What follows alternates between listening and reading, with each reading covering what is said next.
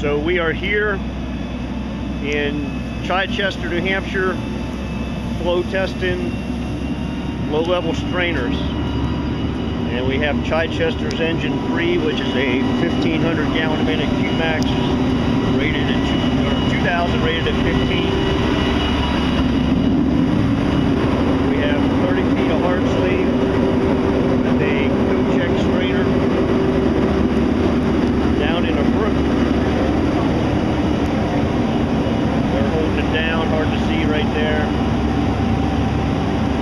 There's the Kochek strainer down in. It's a regular six inch